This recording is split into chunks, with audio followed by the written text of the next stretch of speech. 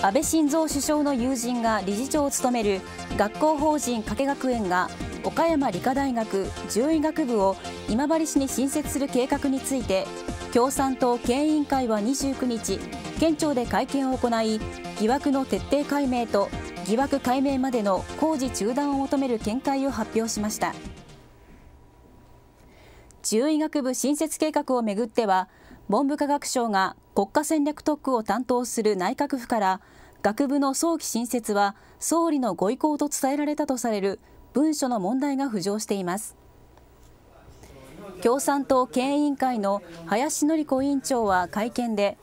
文部科学省の前川喜平前事務次官が文書の存在を明言したことについて次のように述べました。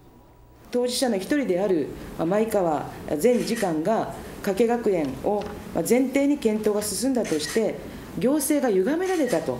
このように述べたということは極めて重大だと思います。で今の段階では説明責任を果たさなければならないのはまさに国であり安倍首相の側にあるというふうに思います。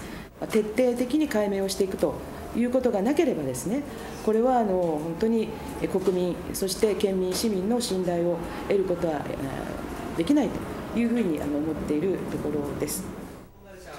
また林委員長は獣医学部新設計画には反対ではないとした上で